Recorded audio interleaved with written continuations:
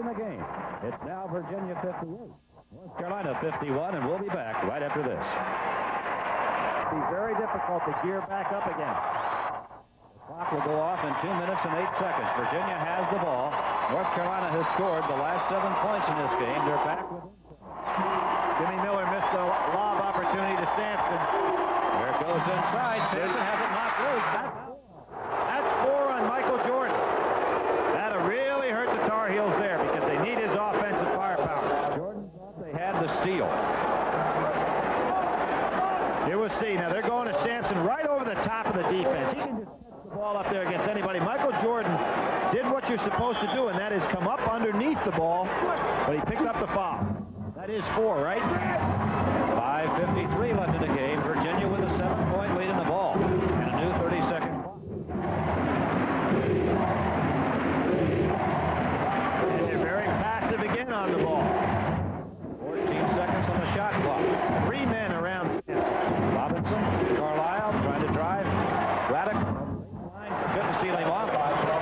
There's Car Carlisle showing again what a solid ball player he is. Braddock reaching in instead of playing solid D. He has three points. Virginia leads by nine with 5.21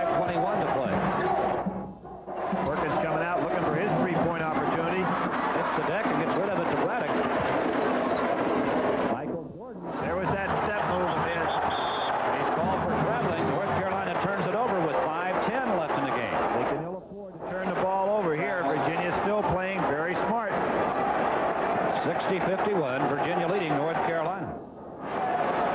They have led by as many as 16. In the man-to-man, -man, they have Othell Wilson on Michael Jordan. Let's see if Othell tries to take him one time.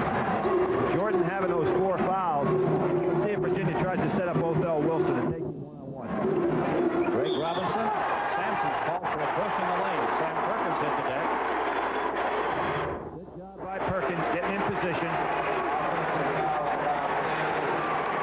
Watch this. Othell Wilson was going the other side. I think they were going to try to rotate the ball to get Jordan on. Now, Sampson's going to come across the lane, bangs right into Perkins. Good call, not much question about it.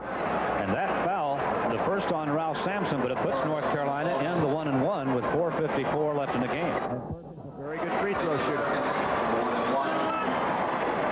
83% from the line on the year for Perkins.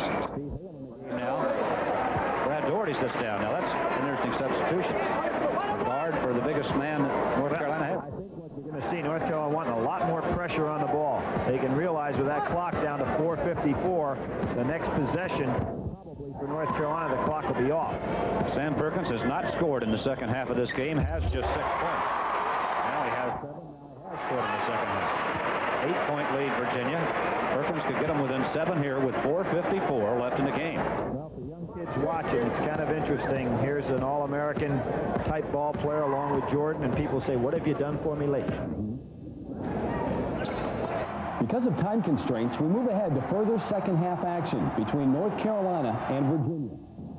You're back at Carmichael Auditorium. Fred White along with Billy Packer. Two minutes, 41 seconds left in this basketball game. Trying to come from behind. There's your score. Virginia leads by three. Fans getting into this ball game. Virginia has done an excellent job throughout the ball game, keeping the fans out of it, and now they're fired up. And Terry Holland going with the three guards, Robinson and Sampson. Let's see if he tries to put in a little four corners here. Not much time has gone off this clock because Virginia's turned it over quickly. A couple of crucial turnovers down the stretch. North Carolina at one point down by 16, back within three. Nobody guarding the man taking the ball out of bounds, so you've got North Carolina going for that steal on the inbounds pass. Bill Wilson picks it up. Now to Stokes. And Stokes. No low to the floor. Now Rick Carlisle. Stokes and now Wilson. 2.29 left in the game. North Carolina trapping outside, man-to-man, -man, trying to get guys in double-team situations. Well, that's a tough job for Jordan. He's got four fouls on him with Stokes. We threw that pass a little hard to Carlisle. Now Robinson. Perkins defending Sampson down low. Both teams have three timeouts left. Team foul situations, both clubs would be in the one and one. Two minutes left in the game. Carlisle passed the shot.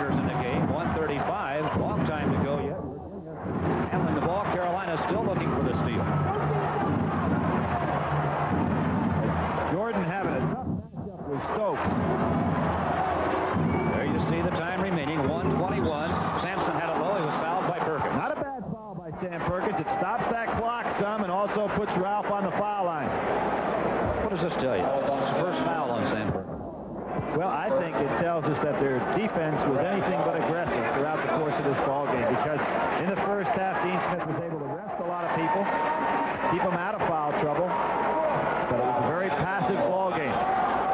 Ralph Sampson, good free throw shooter. 70% on the year, one for two in this game. He has 15 points. If he misses the first one, Carolina has a shot at the tie, and he did. This game is a long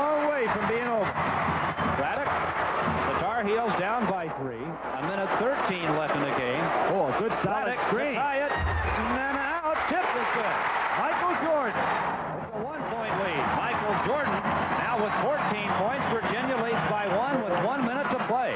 Michael Jordan, remember, has four fouls on. He's playing very aggressively. There's a Jordan takes it away from Carlisle. Bam! And the Tar Heels go in front with 50 seconds to play. 64, 63, and Carmichael just erupted. Unbelievable. Michael Jordan is so quick.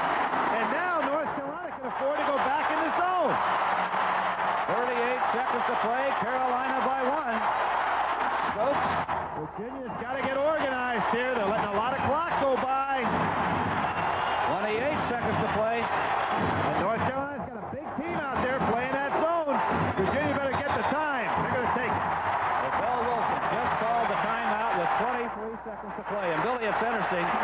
The time on the clock, 23. That's Michael Jordan's number. And how many big plays late in crucial ball games has he made and he's only a sophomore? There again, your situation. 23 seconds left in the game. North Carolina coming from 16 back to take a one-point lead over Virginia. The Cavaliers have the basketball. And you can see North Carolina sitting way back in the zone. They're going to make sure that Sampson has no opportunity. And what in the world are we seeing now? They going to hold for the last shot. Boy, I can't imagine that. They sure are. 12 seconds left, and Virginia down by one is going to go for the last shot. Seven seconds left. Carlisle for three. Long. Rebound. Michael Jordan. And a foul call on Virginia, and Michael Jordan there again, and this ball game is over. It's all over. North Carolina has come from behind and won it. Unbelievable game. So the Heels make a big comeback, down 16, and they come back to win it 64 to 63 over Ralph Sampson and Virginia. We'll come back with a summary and then some post-game comments in a moment. As we remember a classic that all basketball fans can appreciate, but certainly one that still lingers in the minds of North Carolina fans and maybe even Virginia boosters as well. The one-point win by the Heels as they came back from 16 down in 1983 to win it 64 to 63 over the Wahoos. It seemed for most of the game like the Cavaliers were in control. They had 16 points from Craig Robinson and 15 from Ralph Sampson, but the Heels came back behind Michael Jordan's 16 points, Jimmy Braddock's 14 points, and they always knew when they were in Carmichael Auditorium that they had a chance. Matt Doherty remembers a key timeout and the words of Dean Smith in the second half. Um, we're in a situation, uh, we're down 14, he calls timeout, and he, says, he smiles and says, uh, wouldn't it be fun to pull this out and win it? Uh, people there recognize, hey, we might win. It's a little bit like we had at Florida State this past year. And then it was a little closer, maybe it was double figures, but I did say, uh, wouldn't it be fun to come back and win after all this? And so it happened. It was a tremendous comeback victory. It must have been a fun comeback, but an odd one as well, as North Carolina crept back into this one slowly, finally getting to within striking distance. When they did that, you know who showed up. The last two minutes were typical Michael Jordan. Well, you say typical Michael Jordan. It's not 82 Michael Jordan. He's a freshman, frail. But 83, he came on the scene without being preseason All-American or anything and was second in the voting to National Player of the Year to Ralph Sampson.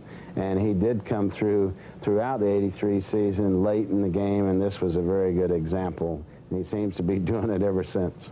Both Michael Jordan and Ralph Sampson were unanimous All-American picks in 1983. Sampson winning the Wooden Award and Michael being named Player of the Year by the Sporting News. Of course, there are a lot of players in that game who went on to stellar NBA careers. But I think for ACC fans, the memories of their college days are still very vivid, as are the memories of that classic in 1983 as North Carolina came back 16 down to beat Virginia 64 to 63. Hope you've enjoyed this look back at one of the great games of the ACC. I'm Terry Gannon. Until next time, so long, everybody.